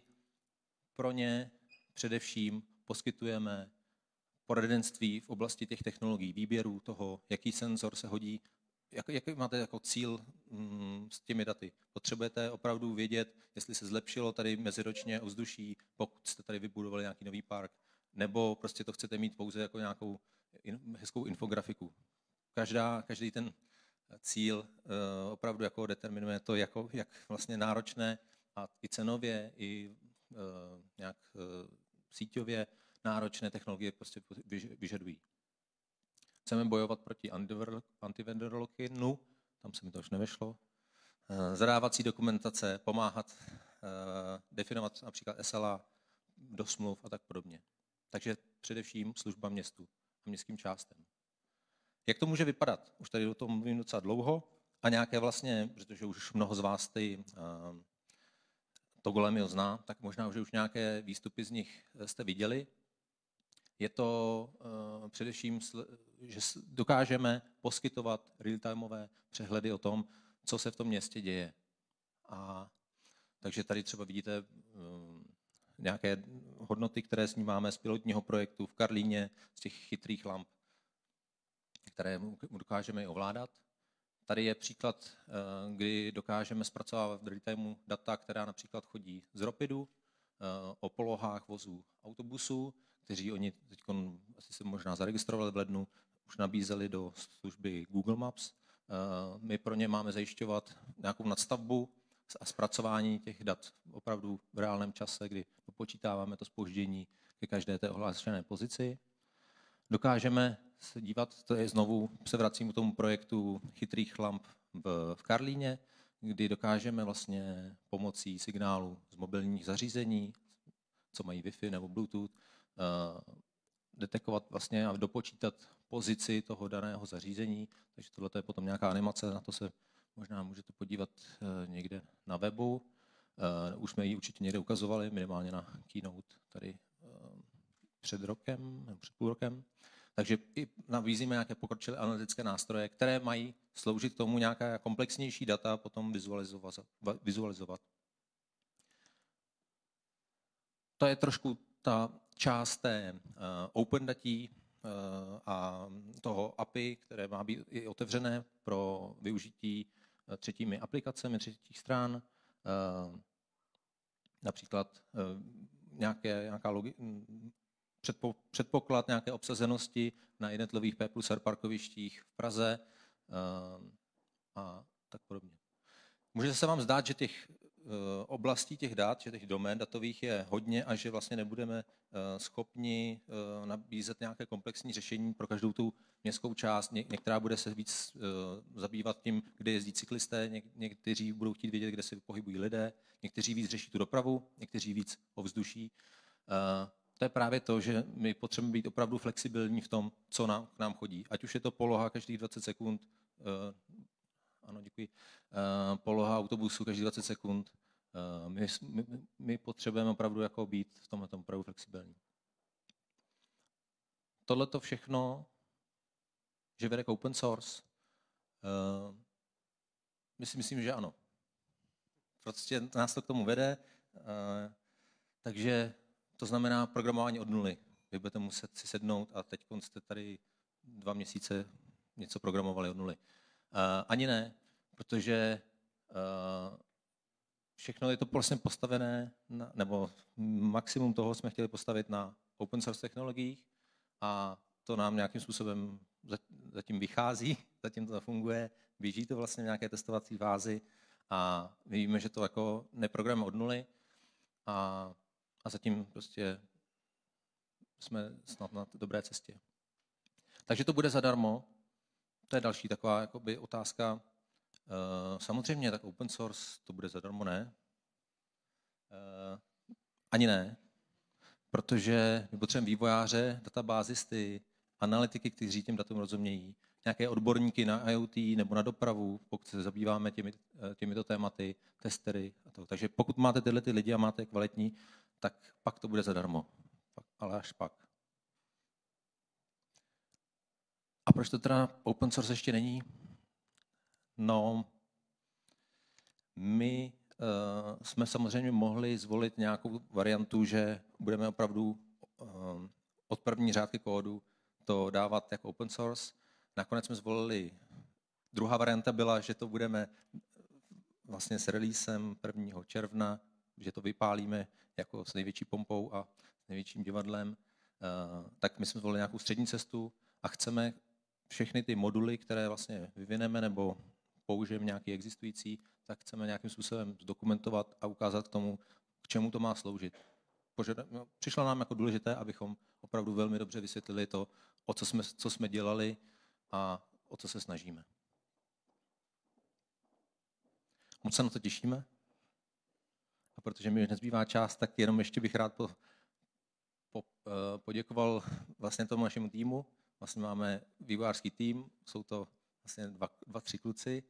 Eh, máme tým konzultantů a dalších analytiků ale už se těšíme na to, až vám to budeme moc ukázat a třeba se za to zapojíte i vy. Uh, bude to 1. dubna.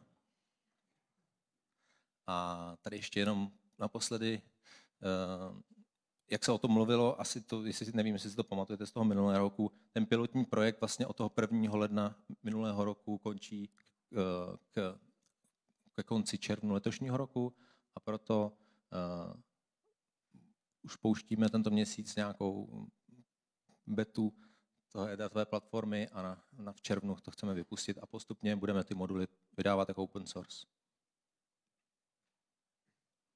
Díky moc.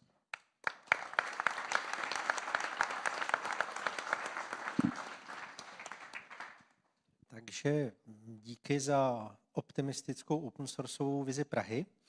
A teď nás čeká eh, pan Radek Hábl a mapa exekucí a uvidíme, jestli to bude tak optimistický.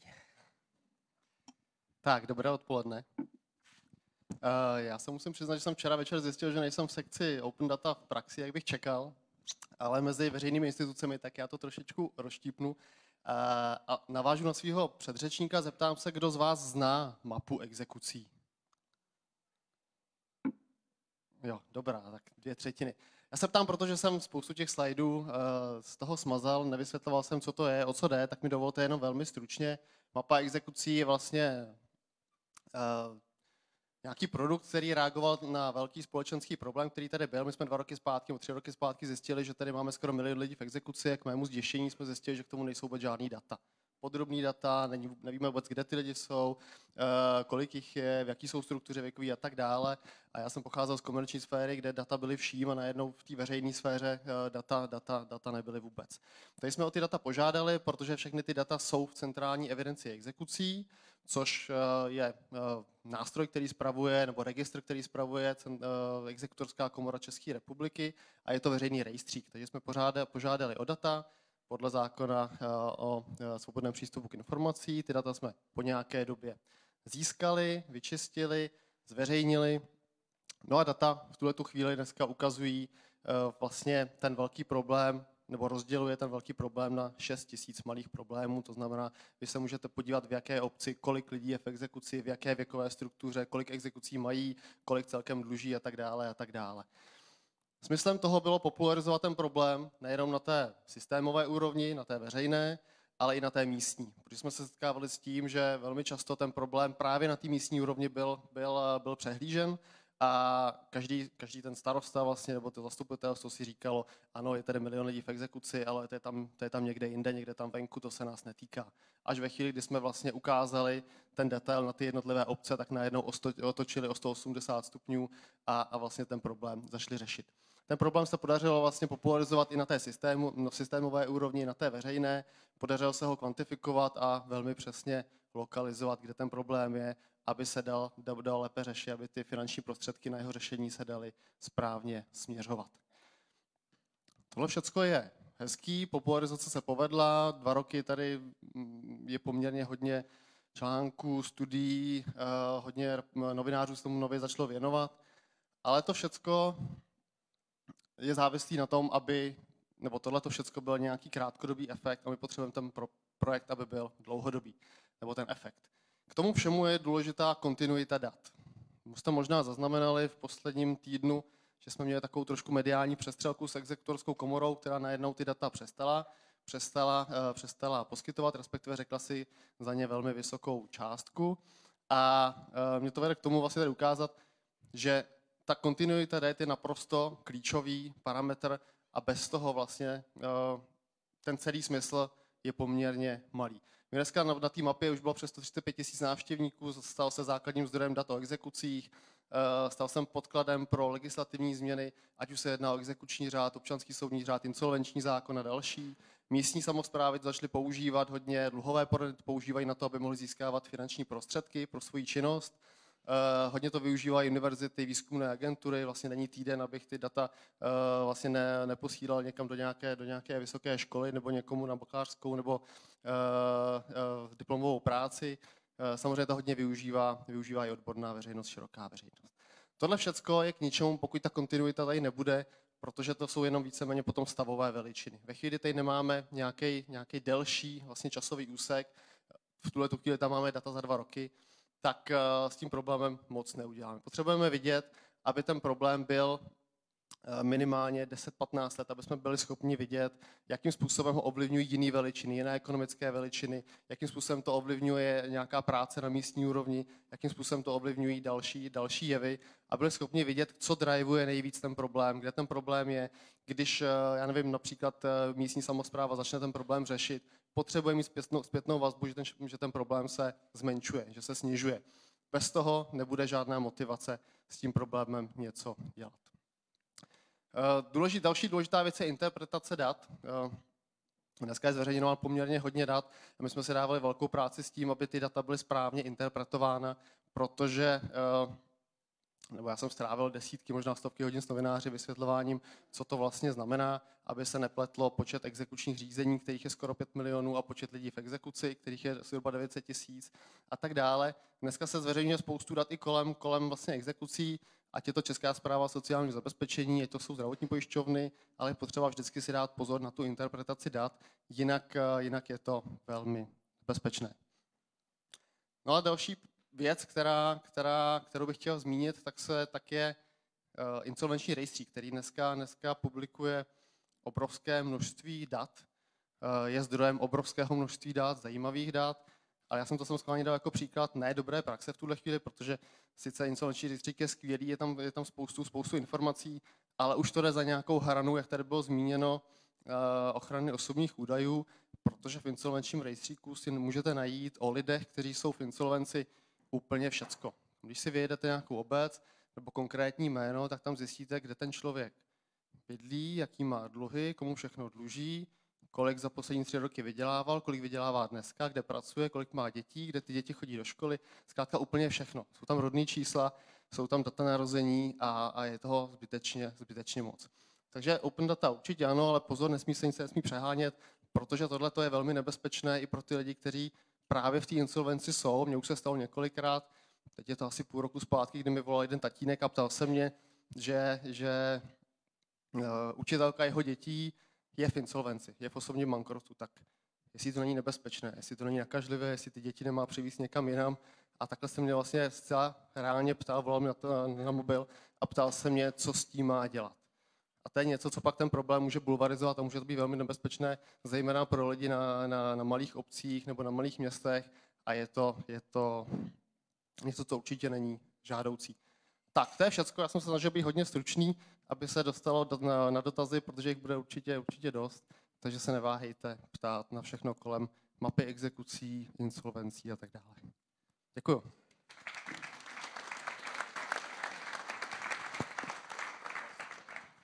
Díky moc za stručnou a údernou prezentaci. A v tomto bloku poslední vystoupím pan Martin Kopeček z Ministerstva financí a uvidíme, co nám přinese.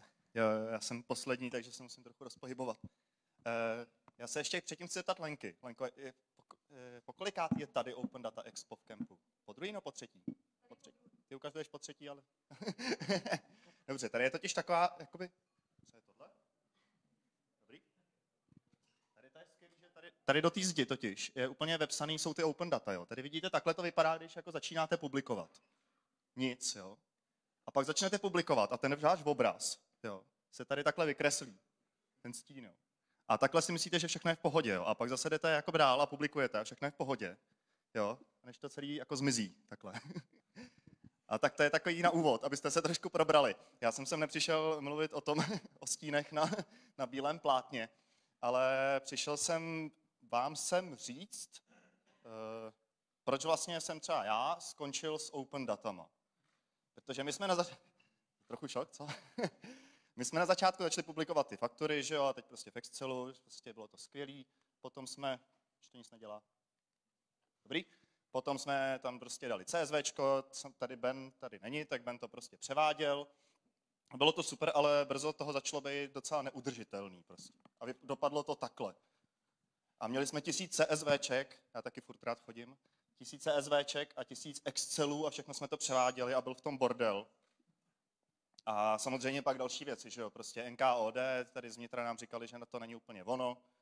Pak prostě samozřejmě GDPR, jo, tak prostě spousta dalších zkratek umíme, že jo, všechno prostě se to na nás začalo valit. A jako, sakra práce, tahle věc, jako je to hrozný. Protože furt vám někdo říká, že to děláte blbě, že ty data nejsou dobře, že loni to v tom Excelu bylo ve třetím sloupci, teď už je to ve druhém.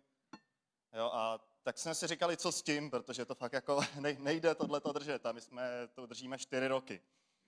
No a já jsem se rozhodl teďka k prvnímu lednu, tak jak jste tady viděli už na představení našich Open Dat, tamhle byl Tomáš, který eh, představoval, co publikujeme jako ministerstvo financí a já jsem se začal víc, eh, a to je to, o čem tady chci mluvit, že? proto jsem to tak krásně teďka zkrátil a teď to se natáhnu. Eh, já jsem se rozhodl, že budeme víc soustředit na tu datovou stránku. A abych vás dlouho nenapínal, tak to, co už tam teďka proběhlo a to, co bych chtěl ukázat, je to, co teďka implementujeme. Naše data všichni znáte, Ares, CEDR, Monitor, pak máme faktury, to je systém, který se jmenuje Avis, pak je spousta datových sad, který nám chodí v Excelu od nějakých lidí mailem a v CSVčkách a snažíme se s tím nějak jako se z toho nezbláznit.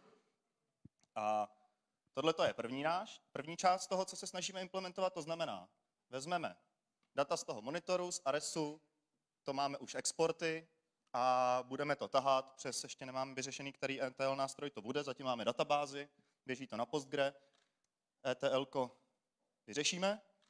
A tohle to budeme tahat dvouma kanálama, to znamená to, co už máme a to, co se exportuje někam třeba na internet, tak si budeme stahovat tam odsaď. To, co ne, tak to nám úředníci budou posílat mailem. Pak tam bude probíhat samozřejmě nějaký proces, kterým z těch dat uděláme něco použitelného, takže konečně budete mít faktury po každý ve stejném formátu a všechny ty ostatní data taky. No a takhle, když se prostě posunu, tak tady budeme mít ty data a pak dál budeme mít eh, APIčko, už máme server na to, máme tam spuštěný Nginx a Node, kde, bude, kde, kde akorát musíme nastavit nějakým způsobem ty endpointy, až budeme mít data teda. Další věc, budeme dělat i ty exporty, to znamená, ano, budou stále Excely, budou CSVčka, tak jak je všichni máte rádi. A Neméně důležitá věc, která tady samozřejmě na Open datové konferenci není pro vás zase tak důležitá, je to, že my ty data budeme využívat interně. Jedna z hlavních potřeb, a to tím trochu tady navážu na Honzu, je to, že my ty data potřebujeme taky. Náš největší benefit Open Dat hned poté, co hned poté, teda hned kromě toho, že všichni o nás psali v novinách, je to, že my teď máme přístup k těm datům, že se u nás někdo může podívat, za co utrácí ministerstvo. No a pak samozřejmě tady vidíte uživatele dat, možná se tam někteří najdete, Honza Cibulka tady myslím je. A hlavně ta veřejnost. A tohle to, co se tady skrývá pod těma ikonkama, to je ten katalog otevřených dat, tam všechny ty data najdete. No a protože aby nám zbylo trošku na otázky, tak díky moc. Když tak, mail.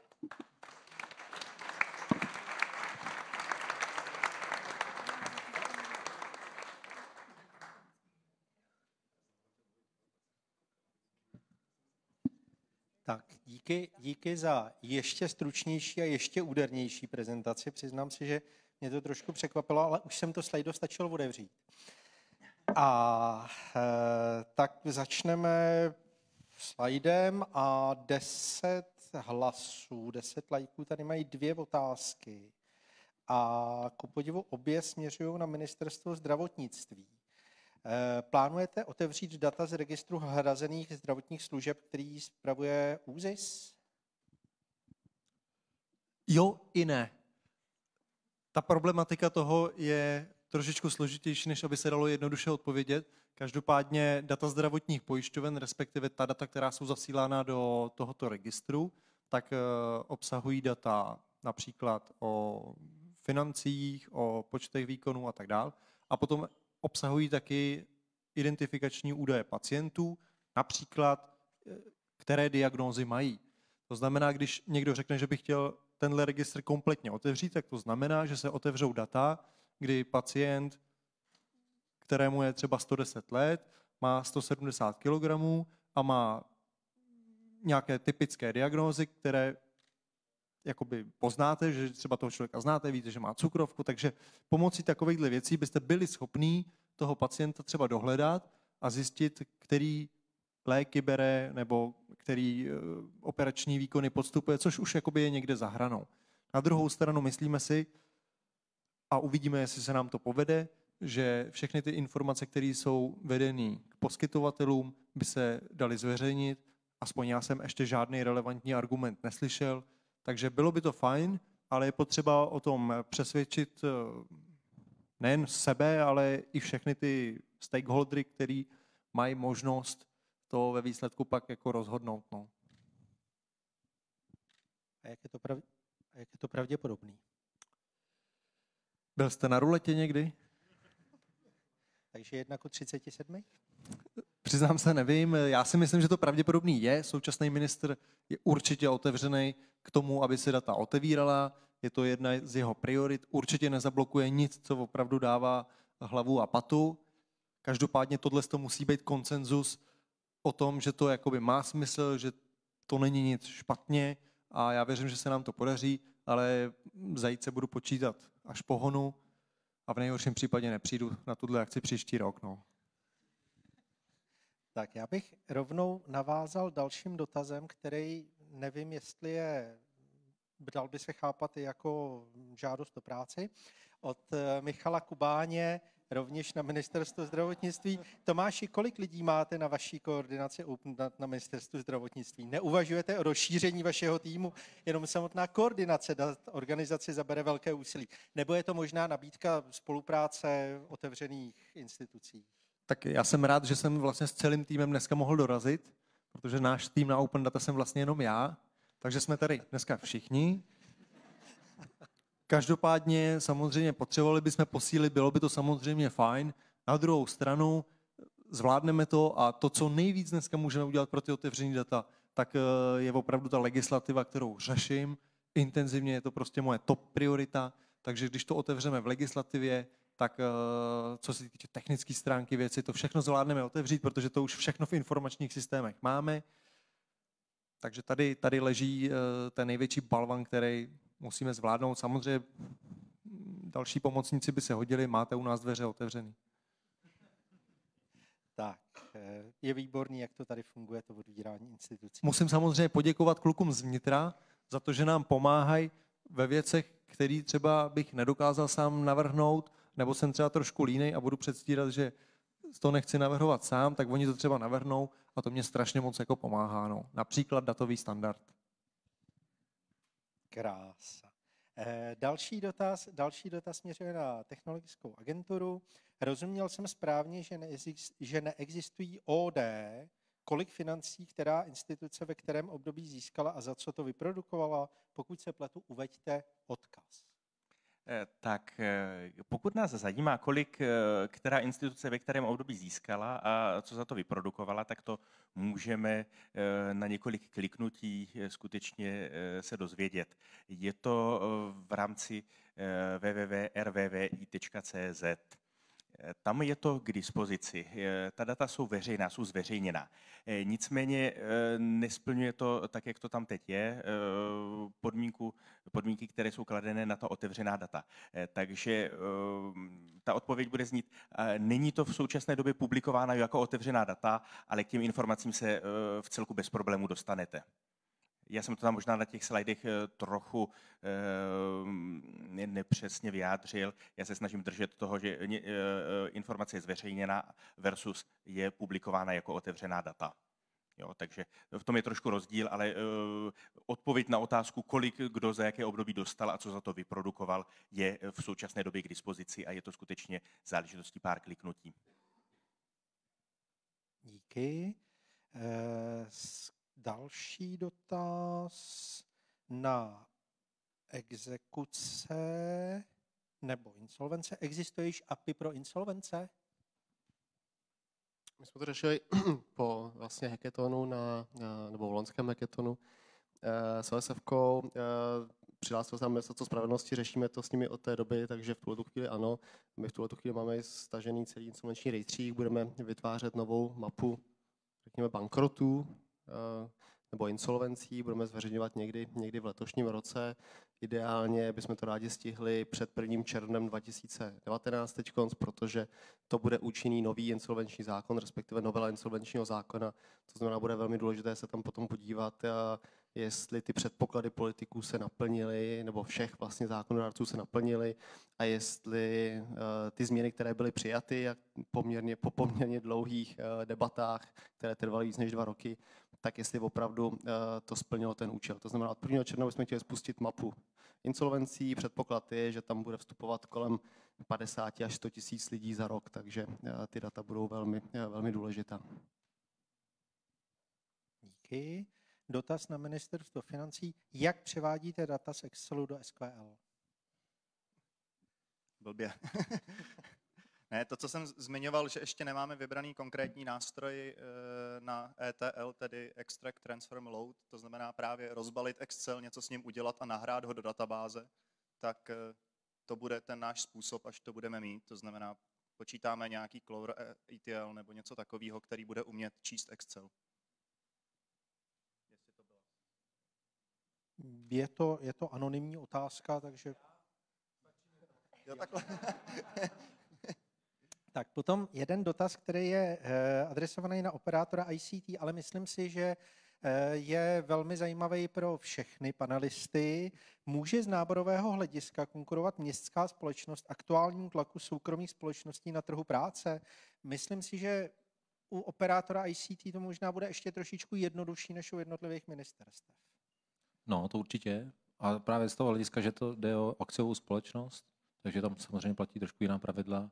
Eh, a já myslím, že jako my se možná tomu uděláme takový trošku pozvánku i na, eh, na naše sezení s Brnem, eh, kdy se tomu částečně se toho dotkneme, jakým způsobem ty lidi vlastně motivovat do toho, aby se zapojili do toho týmu.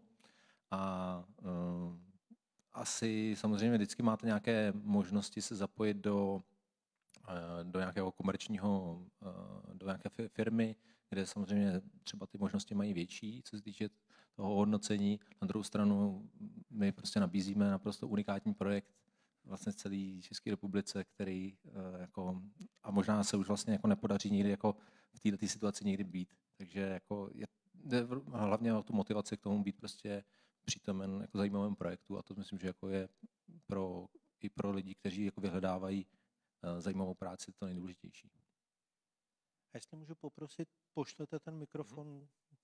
Kolegům ze státní zprávy. Jako stejnou otázku. Stejná otázka, no.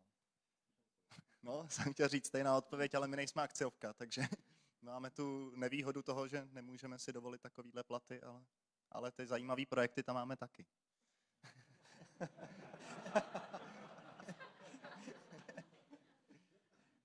No a technologická agentura, respektive ministerstvo zdravotnictví jsou na tom jak? Ehm, já jenom v krátkosti se připojím k tomu, co říkal pan kolega z ministerstva financí. Máme zajímavé, zajímavé úlohy, eh, zajímavé myšlenky, eh, kolegové jsou snad zajímaví, takže eh, to bude ten hlavní benefit.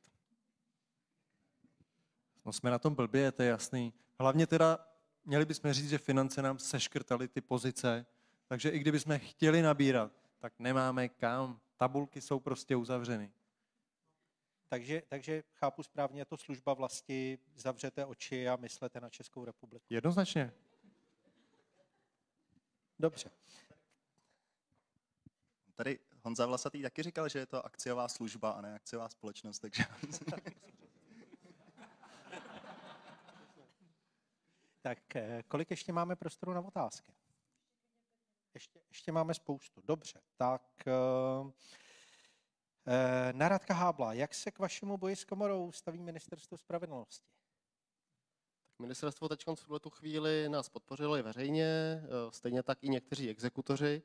Eh, se postavili proti vedení exekutorské komory a to celé vzniklo s tím, že, tím, že se vlastně vzni, eh, že se změnilo prezidium exekutorské komory, proto tam eh, není ta kontinuita, už to tady dneska bylo zmínění na úrovni obcí, že když se změní vedení na úrovni obcí, tak taky které projekty končí. Tady bohužel je to, je to podobné, ne tím, že bychom končili, ale, ale že to nové vedení se k tomu nestaví úplně, úplně pozitivně. Takže v tuto chvíli Ministerstvo spravedlnosti nás eh, podporuje, dokonce vyzvalo exekutorskou komoru, aby ty data v zájmu zachování nějakých dobrých vztahů s veřejností, s, dohledovým, s dalšími dohledovými orgány a tak dále, eh, ty data zveřejnili. Takže tam je, tam je v tuto chvíli plná podpora ze strany Ministerstva spravedlnosti a jim za to děkuju. To zní hezky. Otázka, o který nevím úplně přesně, na koho směřuje. E, podle času mám pocit, že na ministerstvo zdravotnictví nicméně možná k ní budou mít i další pánové. Zmínil jste nástroj pro převod Excelu do Open Data formátu.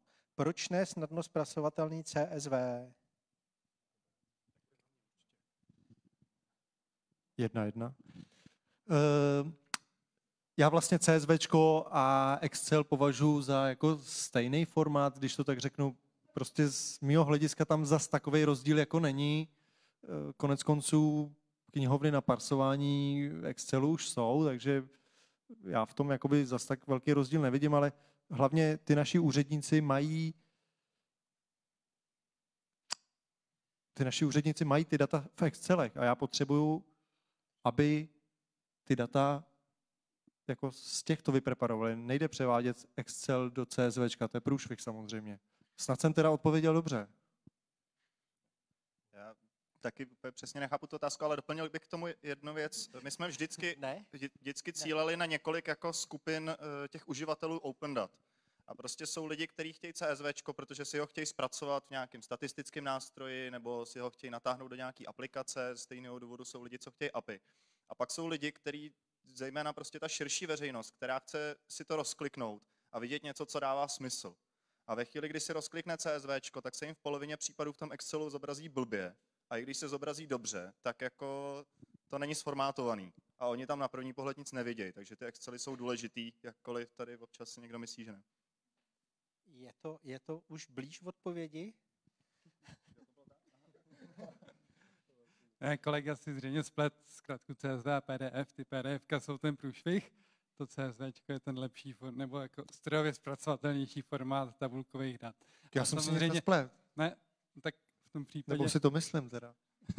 v tom případě nerozumím, proč si myslíte, že CSV je průšvih, když to je ten základní tabulkový formát pro otevřený data. Tak teď jsem fakt úplně zmatený, prostě nevím.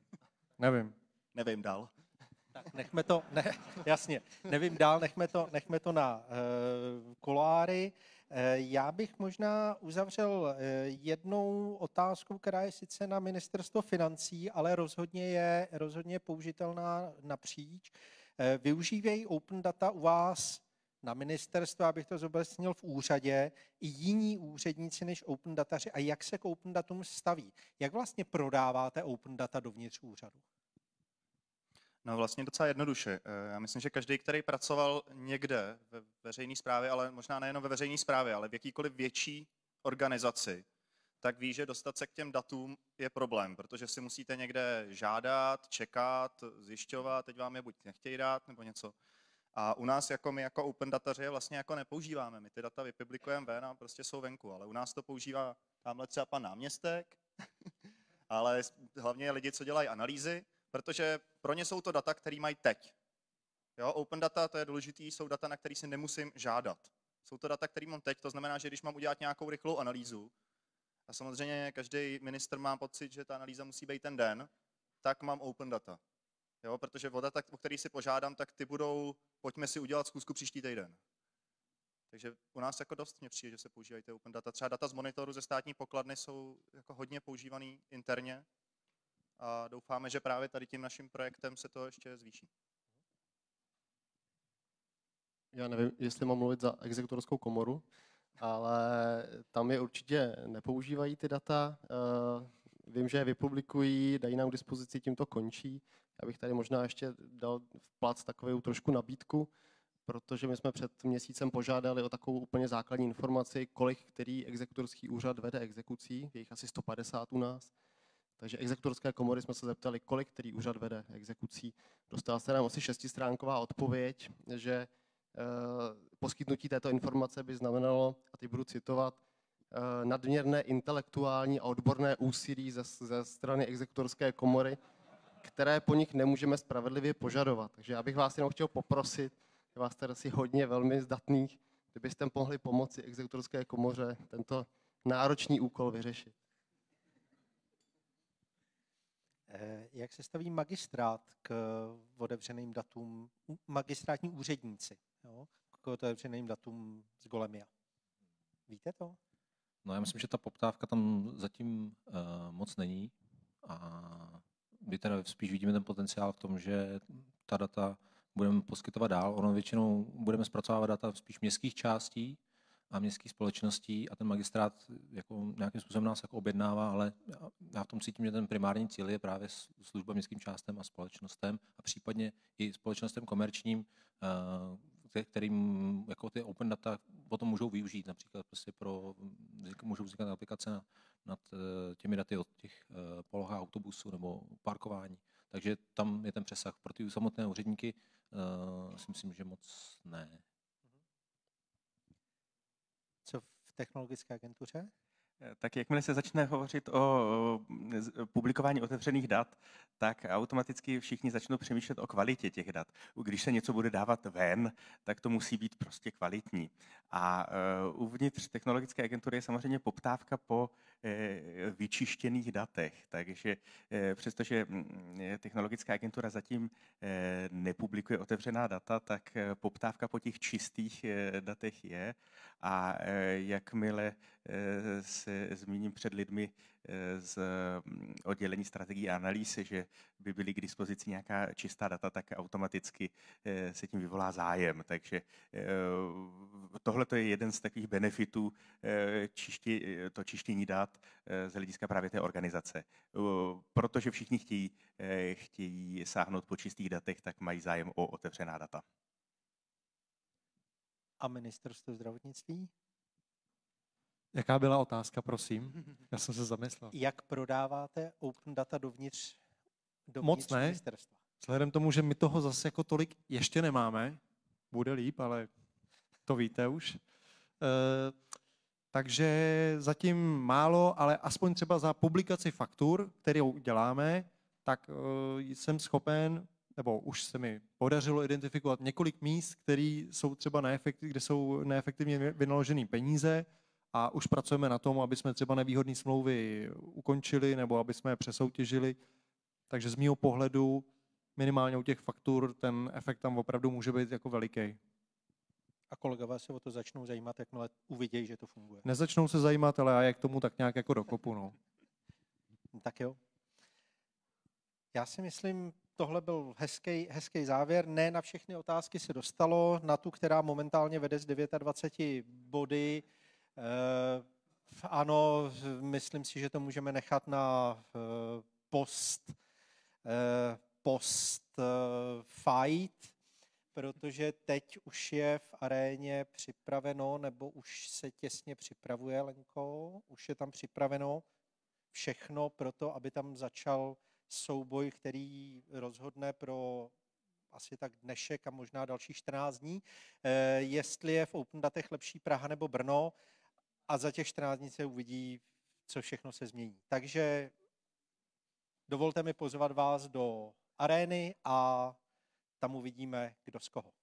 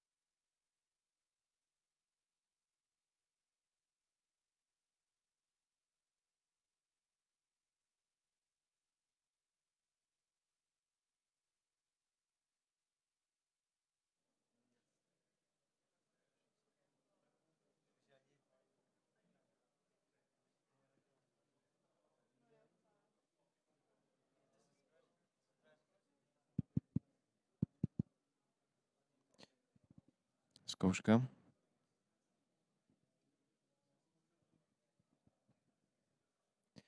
Раз, раз,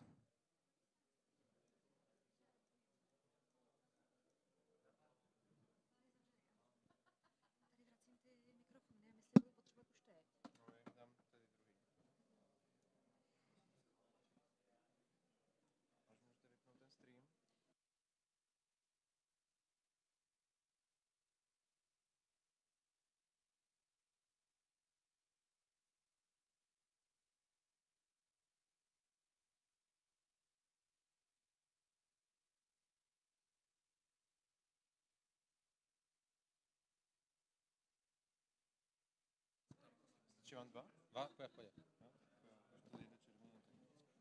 Ještě jednou pro mě. Když svítí červeně, tak je zaplay, když se stlačí, tak je Krása.